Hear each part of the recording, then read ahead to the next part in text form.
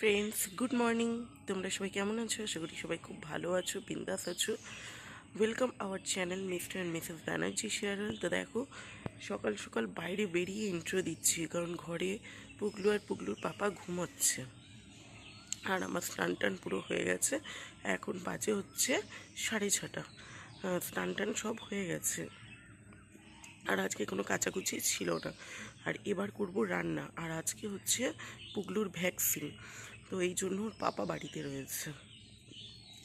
Vaccine দিতে যাব, ওই একটা নাগাদ যাব।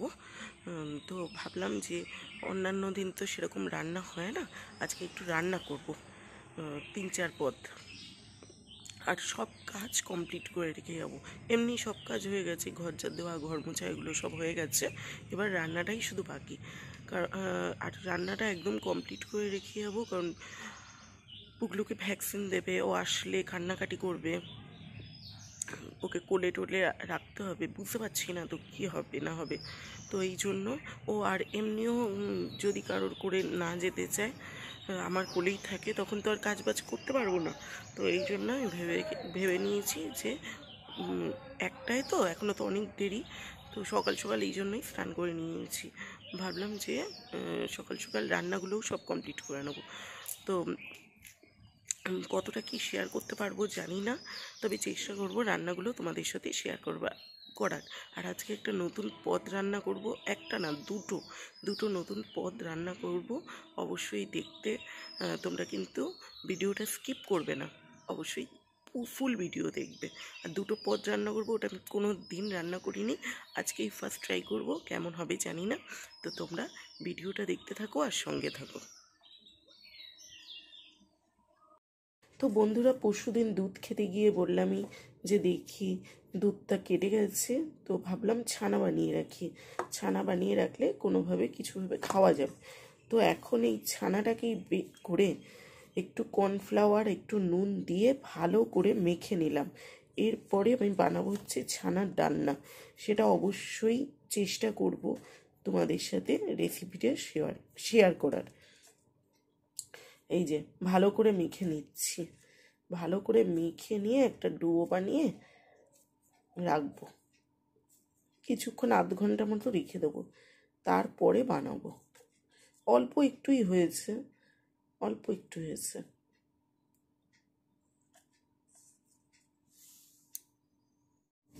তো বন্ধুরা দেখো, একদম মেখে নিয়েছি, এই যে মেখে নিয়েছি ভালো করে। আর একদম অল্প একটু হয়েছে। পাঁচশোর দুধের ছানা কাটা তো। অল্প একটু হয়েছে। তো এখান থেকে যে কটা হয়, সে কটা দিয়ে বানাবো ছানার ডালনা। এখন মেখে রেখেছি, এটা আধ ঘণ্টা রেখে দেবো। তারপরে আবার দেখা হচ্ছে। তো শীতলা পুজোর দিন তো মেলায় গেছিলামই। আর সেদিন মেলা থেকে না, এই জিলেপিটা কিনে নিয়ে এসেছি। এই যে জিলেপি, বাইরে বসেছে, মেলার বাইরেই বসেছে। জিলেপি, এই জিলেপি কিনেছি আর দেখো তলার দিকে আছে মালপোয়া। বেশিরভাগই খাওয়া হয়ে গেছে। জিলেপিও অনেকটা কিনেছিলাম, মালপোয়া অনেকটা কিনেছিলাম। তো খাওয়া হয়ে গেছে, যেটুকু রয়েছে ভাবলাম টিফিন বক্সে রেখে দিই। না হলে না ওই কাগজের ঠোঙায় রাখলে এগুলো সিটিয়ে যায়। যেমন যেন রসগুলো শুকিয়ে যায়। তো ভাবলাম টিফিন বক্সে করেই রেখে দিই।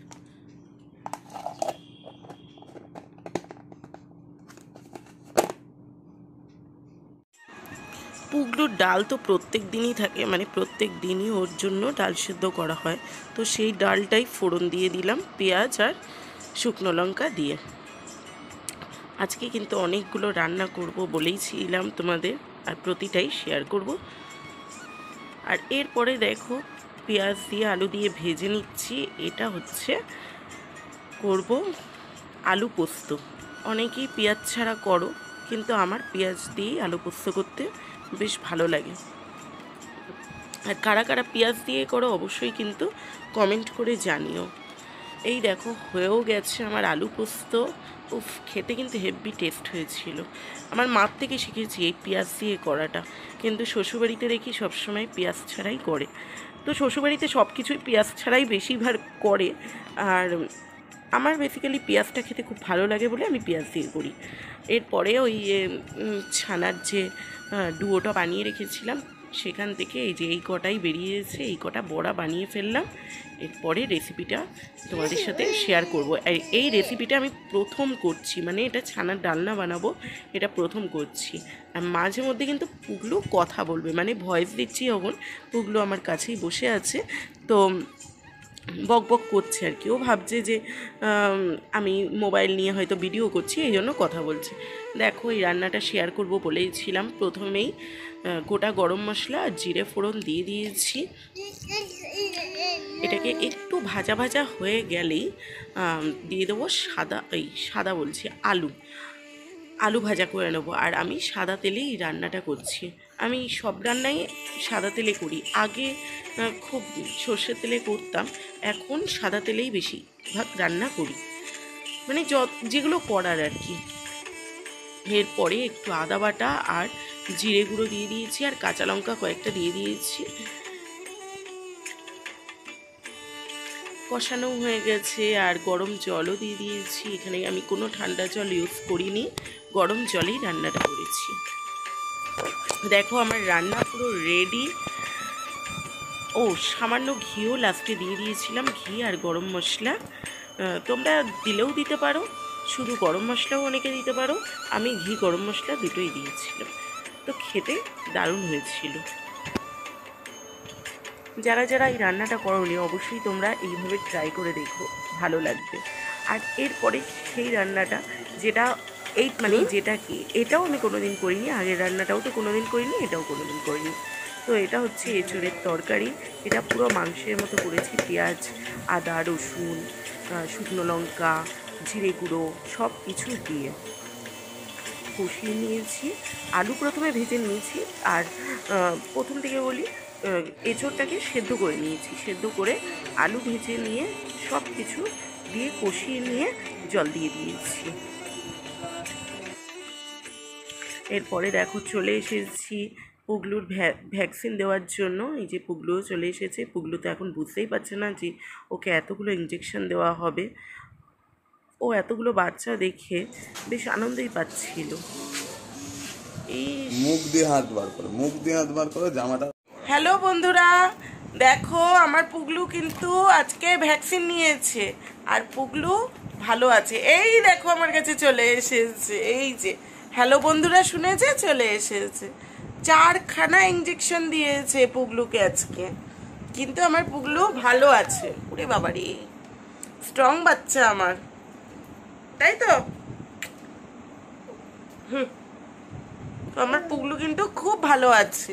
একটু কথা বলে দাও।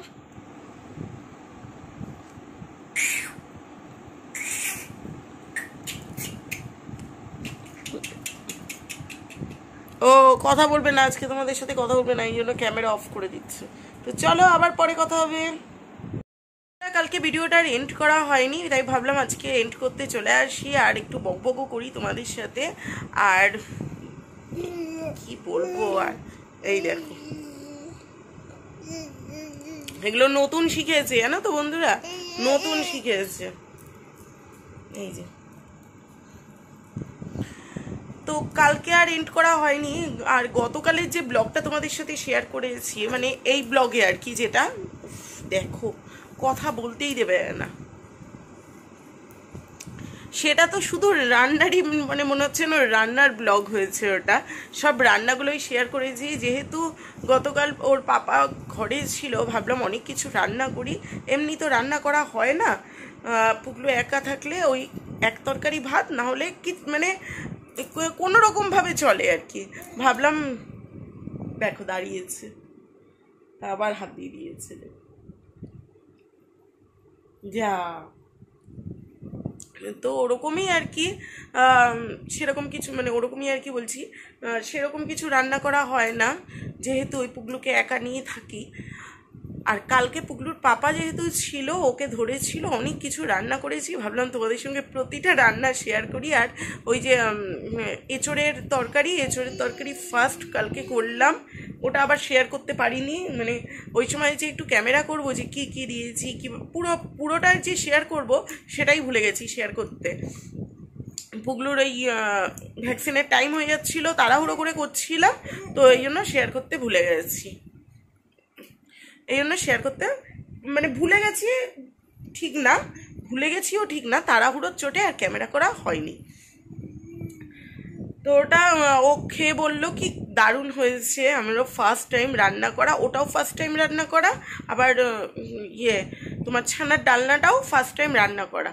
দুটোই বলল যে খুব ভালো হয়েছে, তবে ওর পনিরটা অতটা ভালোবাসে না বলে, আর আমিও ছানার জিনিস বা পনির একই জিনিস আর কি অতটা পছন্দ করি না, আমরা অতটা পছন্দ করি না। যেহেতু দুধটা কেটে গেছিল, কি করব? তাই জন্য ওটা বানিয়ে নিয়েছি। আর এঁচড়ের তরকারিটা এখানে কি দারুণ হয়েছে, কিন্তু আমি কিন্তু কোনো চিংড়ি মাছ দিইনি। এঁচড়ের তরকারি এমনি ওই মাংসের মতো করেছি। তো বলল ভালো হয়েছে।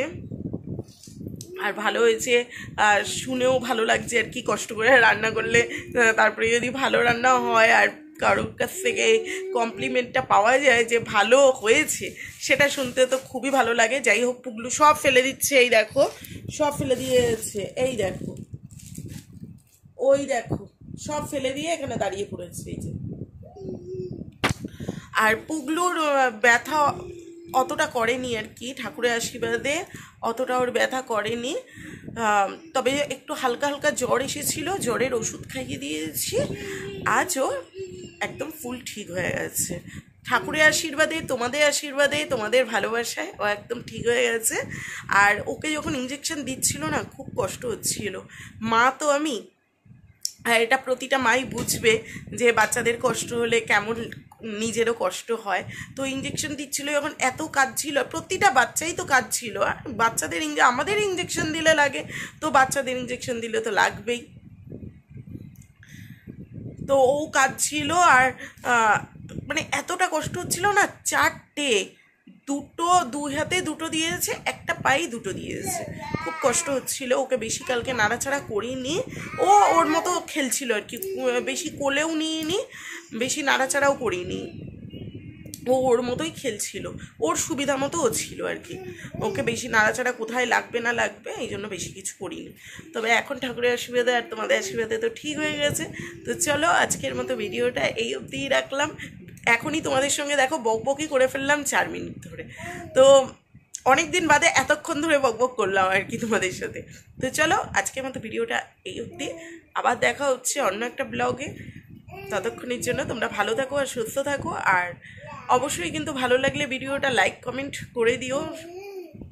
নতুন বন্ধুরা চ্যানেলটাকে সাবস্ক্রাইব করে দিও, পাশে বেল আইকনটাকে অল করে দিও। তা- যাতে আমার নতুন নতুন ভিডিওগুলো অবশ্যই তোমাদের কাছে পৌঁছায়। আর এখন আমি প্রত্যেক দিনই ভিডিও দেওয়ার চেষ্টা করছি। মাঝে মধ্যে এক দুদিন মিস হয়ে যাচ্ছে। তবে চেষ্টা করছি প্রত্যেক দিন ভিডিও দেওয়ার। আর এত বক বক করছে, দেখো পুগলু। এই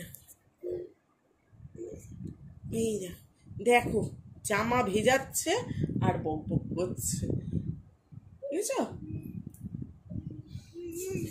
তো চলো আজকের মতো টাটা।